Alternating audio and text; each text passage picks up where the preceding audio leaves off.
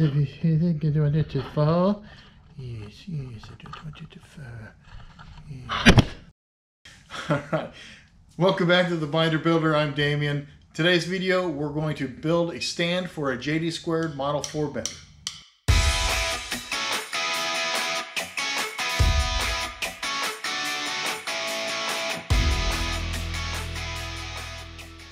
Welcome back to the garage, guys. Um, I'm Damien. As I am building my tools back up, see when I moved to Arkansas, I sold a lot of my stuff. Uh, when I sold my business, I sold my bender. So I, I have very few tools, as you probably notice when I'm wrenching. They're all just hand tools. And today we're gonna actually be building a stand for a JD Squared Model 4 bender. That's what I used to have. I'm used to it. So I'm gonna be building a stand for that. One thing you'll notice, I put casters on the bottom, bottom of my stand so I could wheel it into the corner or wheel it out of the way or move it around as I need if I'm making uh, bends out of long pieces of tube. Now, the nice thing about the JD Squared Model 4, it does not need to be anchored to the ground, right? So if you put casters on it, not only does it just be able to live on its own and bend on its own, but when the big piece of tube hits like my the shelving you see behind me, the bender will continue to bend and then pivot. This system really works. I hope you enjoy this video as I make the proper stand for my bender. So hope you enjoy and I'll get to a time lapse. Before we get into time lapse, let's uh, have first things first. I need some metal for this thing, so off to my favorite metal place.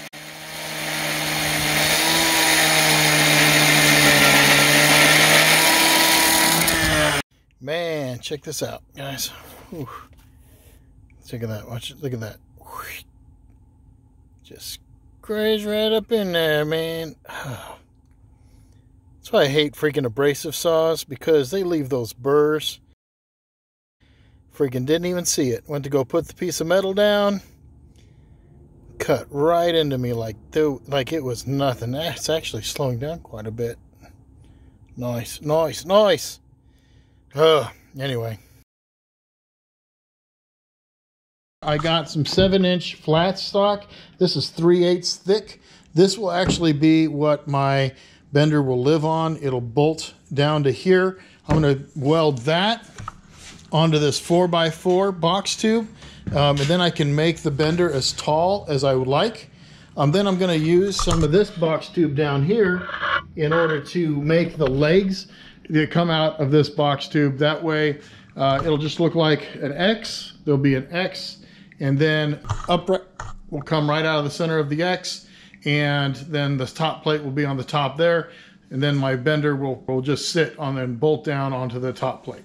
So that's what I'm doing. That's how I'm building it. Um, enjoy.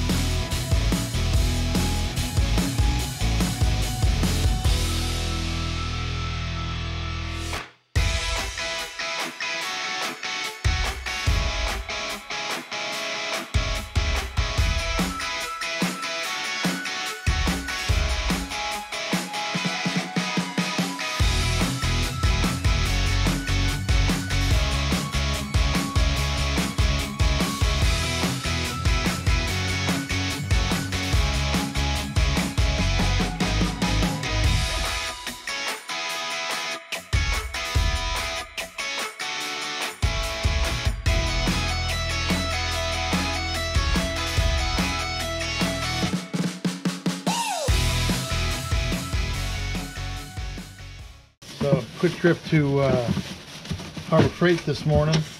Got me the casters I'm going to use. I'm going to use these, uh, these casters with the brakes on them so I can hold it in place if I need to push it out of the way and for it to stay there. So I got four of those. See how high these are going to be. About four inches, I think I could count on. It's like three and three quarters, but uh, as you can see, I want to put, I want this to be, I don't want it too high, you know. As you can see, the how I'm doing this is just I'm just gonna weld those right in there, and I'm, but I'm first I'm gonna chop this to the height I want, and then weld it up. See how it goes.